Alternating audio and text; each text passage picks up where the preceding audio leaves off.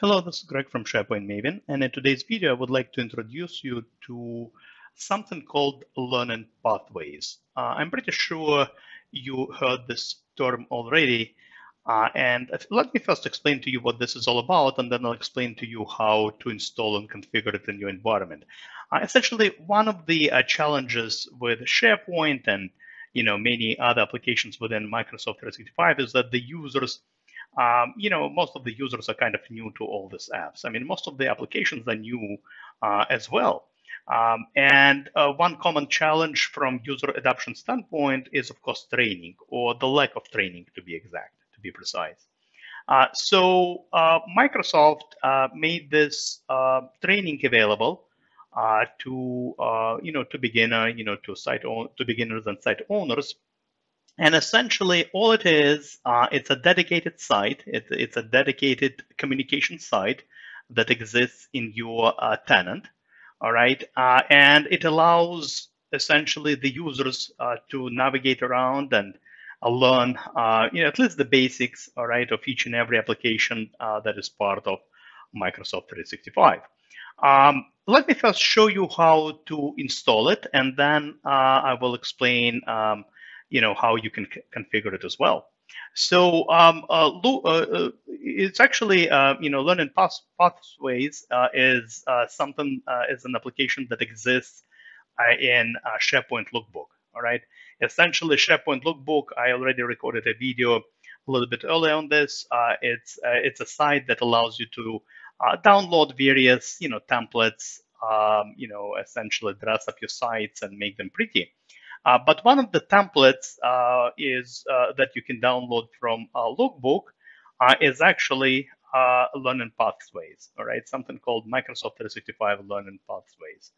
Uh, and uh, it's one of the templates, all right. And the you know what's different about this template is that uh, it doesn't just make your site pretty, all right. It doesn't just install a new site and make it pretty. it actually installs all this content training content, uh, you know, videos and articles uh, on this site. Uh, so uh, long story short, you install this the same way you would install any other template. All right, you navigate to uh, Lookbook and under Solutions, click here under Microsoft 365 Learning Pathways. And yeah, you just need to install it. You do need to be a global admin. All right, if you are just a SharePoint admin, that's not enough. You do need to be a global admin to install it. Uh, and you know you follow the same steps you normally do. You you know provide your you know email credentials, uh, and uh, you have to name your site, and then you click the provision button. Now I have already done this, so I, I don't want to install another site. Uh, so uh, within your admin center, uh, usually in 10-15 minutes or so, you will notice the site, um, you know, essentially a communication site that you know would be installed in your tenant. Here it is. So let me click on it.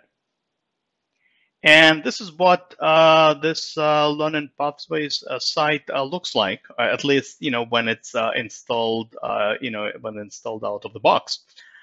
and essentially, yeah, it's just a communication site, all right. So you can customize it the same way you would customize your regular communication site by adding modules. Maybe you want to add some, you know, tiles and you know and provide some instructions.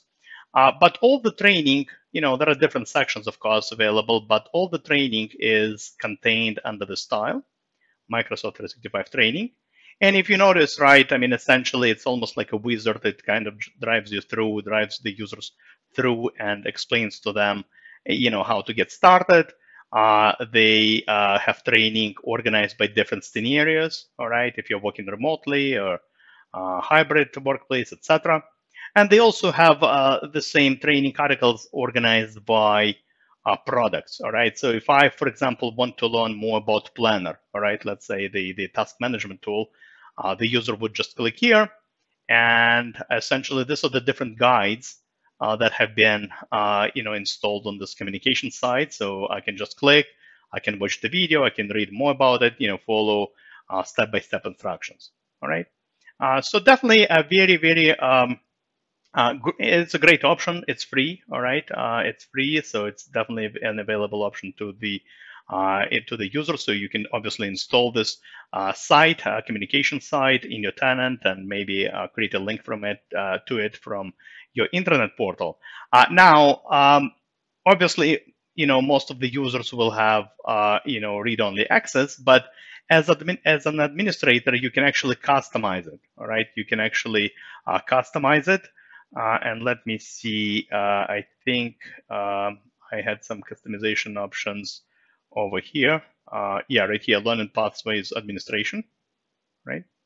And what you can do is, so you can pretty much customize all the aspects of your site and content. Uh, for example, you know what, um, I mean, I don't want uh, to overwhelm my users and maybe they don't need to, to, to learn about Yammer because we're just not going to uh, you know, uh, use it in our organization. Uh, what you can do, you can pretty much hide that content. All right. So when the user clicks on Microsoft 365 training, they're not going to see Yammer as one of the, you know, products. They're not going to see any training materials for that. All right.